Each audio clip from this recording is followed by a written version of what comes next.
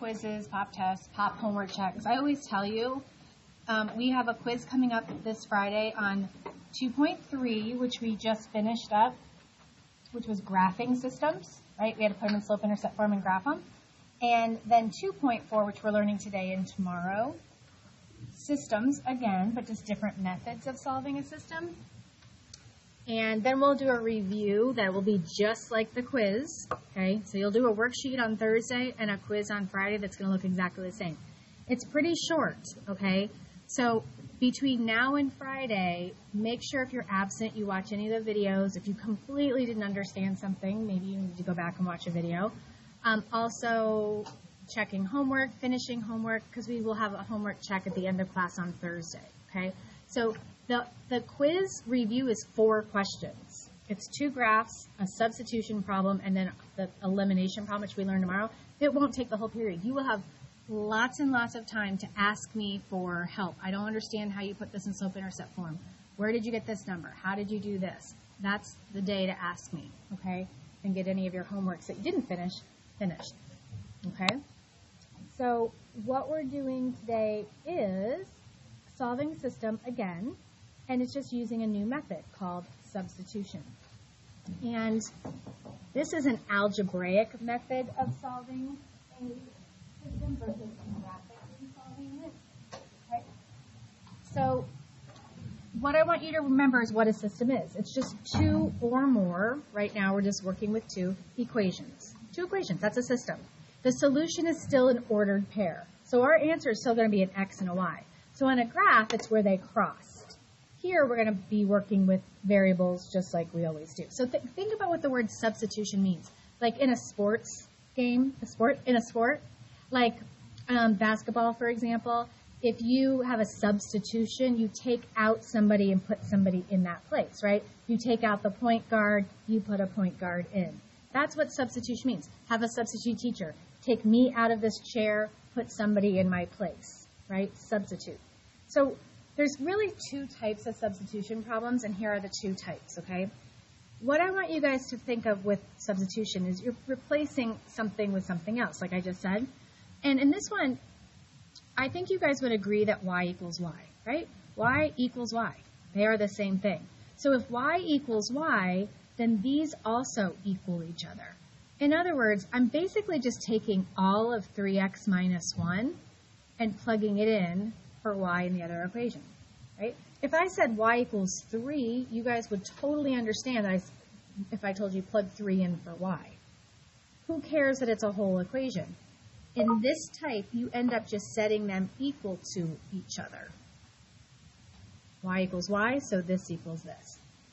And without me even telling you what to do, what do you think you do? What makes sense to do now? Are we going to graph that? No. What does it look like we would do? What did you say? By doing what? But what, what are, what's my end result going to be? Okay, you guys are saying it without saying it. Um, you're going to solve for x, right? You're solving, you're going to get x equals, which is half of an ordered pair, right? We want x and y. Our final answer will be an ordered pair like this. It just won't be from a graph, okay? So I'm going to get my x's together just, Shane, what do I normally say there? You're the only one that laughed last time.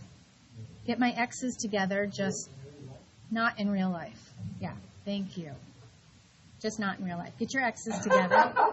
Thank you, Shane. Maybe if I say dumb things like that, it'll help you guys remember. Okay, so could I have subtracted the 3x from the other side? Of course. It doesn't matter which x's you get together. Okay, so I added 2x. Um, now I'll add the 1. Right, those cancel. 4 plus 1 is 5 divide by 5, and x equals 1. There's half my answer, half the answer. So I have x, what do I need? y.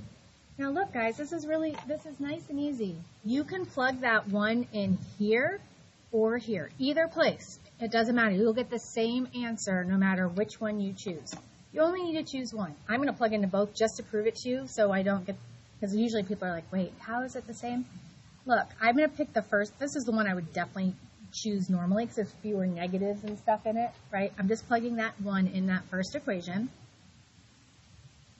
And I get 2, right? That's my answer. I'm done, okay? But just to show you that it doesn't matter, and you don't have to do both, I'm going to plug that 1 into the other equation and prove to you that no matter which one you plug into, you will get 2, okay? So it doesn't matter. Pick one or the other does not matter.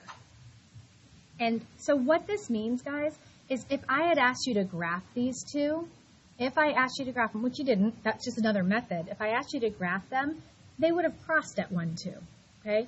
You would have graphed them, slope-intercept form, and wherever to the right one up 2 is, that would have been the solution. So this is just another method. It's not a different solution, just a different way, okay? So that's one type of substitution problem, when the y, y's are both by themselves. You can just set those equal to each other, okay?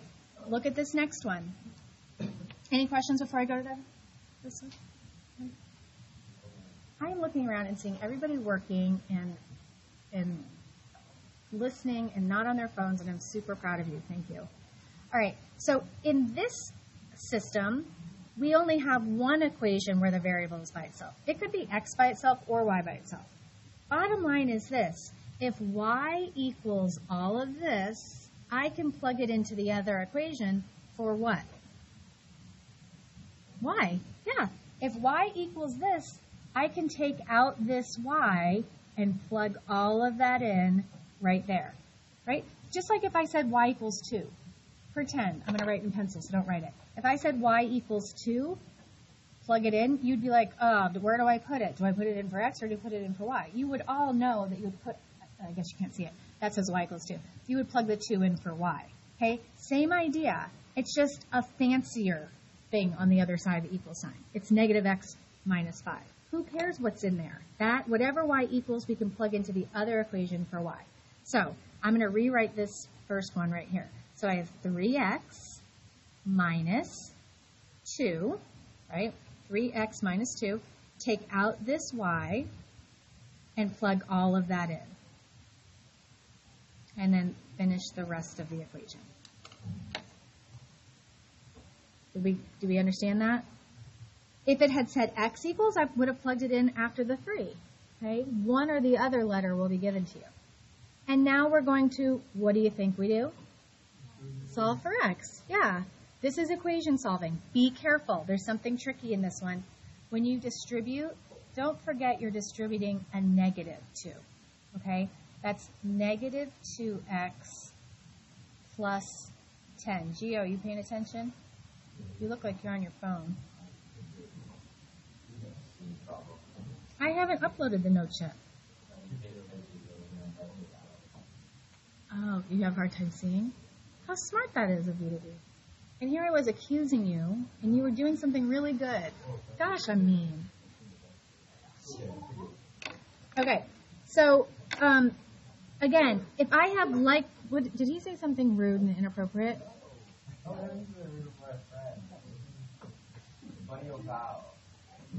You haven't seen me get mad, but I have a mean side. I'm Italian. I can get I can, I can get really mean. All right, all right. Back to this, guys. We have x's on the same side. Listen, this is a very common mistake, even at this level. level. We're not crossing the equal sign, so you're not like adding 2x to 3x or subtracting subtracting 3x from negative 2x.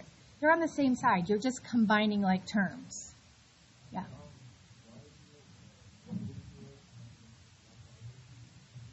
Right here? Because it was a negative here.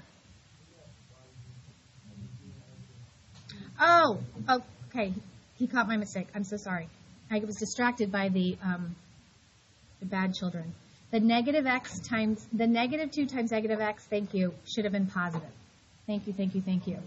Negative times negative is positive 2x. Negative here times negative here is positive here. I apologize. But same idea. They're on the same side, so we just combine them. That's 3x plus 2x is 5x. Plus 10 equals 0. Keep on going.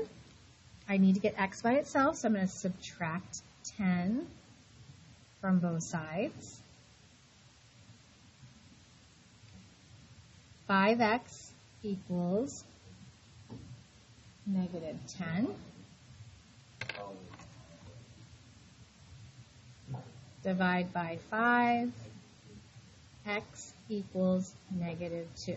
So negative 2 is half of my ordered pair. I just need y. You can plug into either one, guys. You can plug into this equation or this equation. Which one is easier, the first or the second? Which one? The second one, because y is already by itself. But if you like the first one better, go for it. It doesn't matter. I proved it to you on this one. But I'm going to plug it into the second one.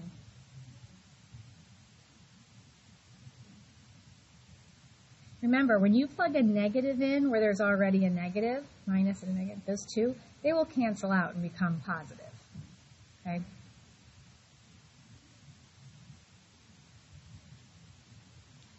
So if I had you put these both in slope-intercept form, pull out the m and the, the b and graph them, they would cross at that point.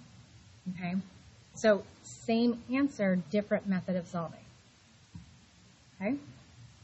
So I'm going to pass out your worksheet in just a second, but remember there are two special cases. When you get no solution or infinitely many solutions, here's what they look like. I would write this down, okay? So we call these special cases if you're working these out and your variables cancel, like you'll get some where you might have 2x on this side and 2x on this side. So when you subtract 2x from both sides, all the x's go away. When that happens, you know it's a special case, and you'll see it on the worksheet, okay? If you get a number that equals each other, like 7 equals 7, that's true. If it's a true statement, that's going to be infinitely many solutions, okay? If you get 7 equals 3 or anything that doesn't equal each other, you say no solution. Now, I just picked random numbers. It could be 5 equals 5, or 0 equals 0, or 10 equals 10, or any two different numbers. But when you have no variables, you know it's going to be one of these two situations. If it's a good one, it works infinitely many. If they don't equal each other, no solution. Okay? Right. I am going to get you started on this worksheet. Let me pass it out. Homework check Thursday, quiz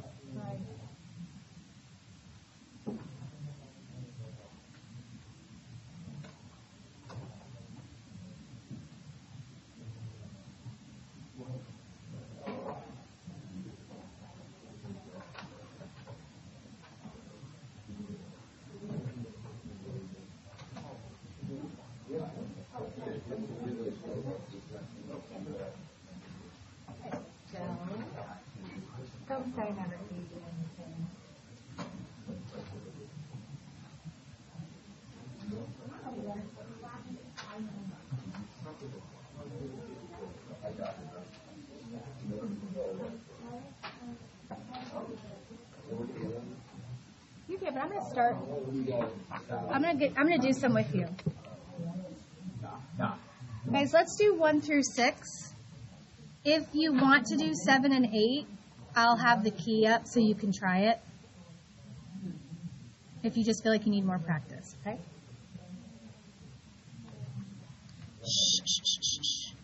So guys, remember there's two types of problems. One through four are like the first type. Look at them all. They have y equals, y equals.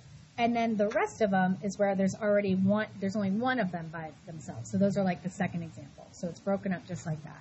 So remember, if y equals y, then what's on the other side of their equation equal each other as well.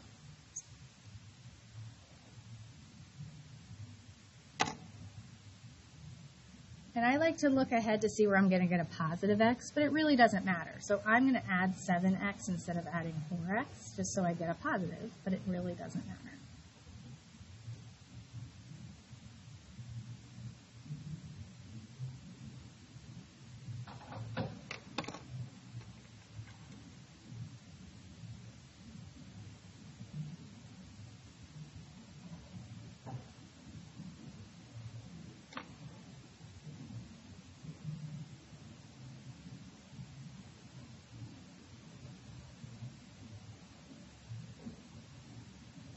So we got x equals 4.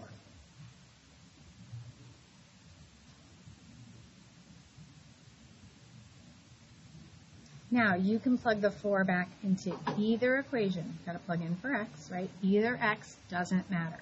Pick which one you want to plug into and do that.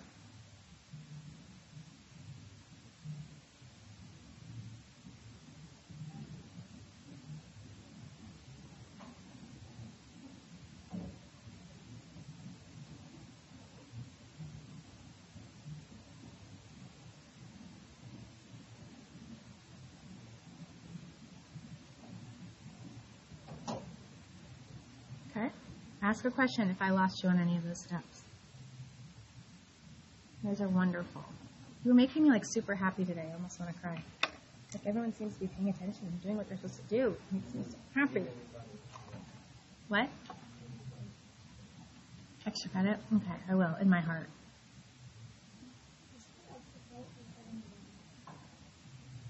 Hmm. Here's the problem. The people that will do it are the ones that don't need it. Okay, I, let me, because I told you about the special cases. This is one of those. This is one of those that you're going to get no solution or many solutions. So let me just start with you. We like these. These are super fast. They're easy. So negative 5x minus 18 equals negative 5x minus 12. Okay, so I set them equal to each other, just like I did in number one. And then you want to get your x's together, right? So I can add 5x to both sides, but look what happens when I do that. The x's cancel on both sides. Right when that happens, right, Dylan? Right when this happens, I know it's going to be either no solution or infinitely many solutions. It's got to be one of those two, okay? How do I tell?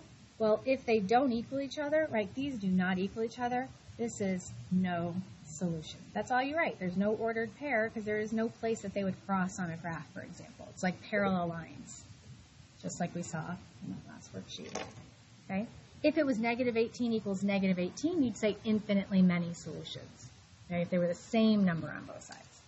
Good? You get that? Okay. Keep on going. I'll come help you.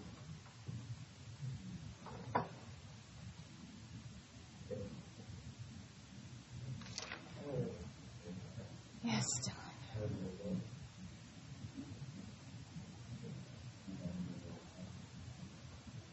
I'm using Mrs. Shackton's key. It's, pretty confuse you.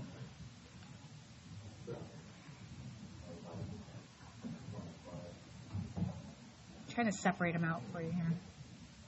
By making it worse.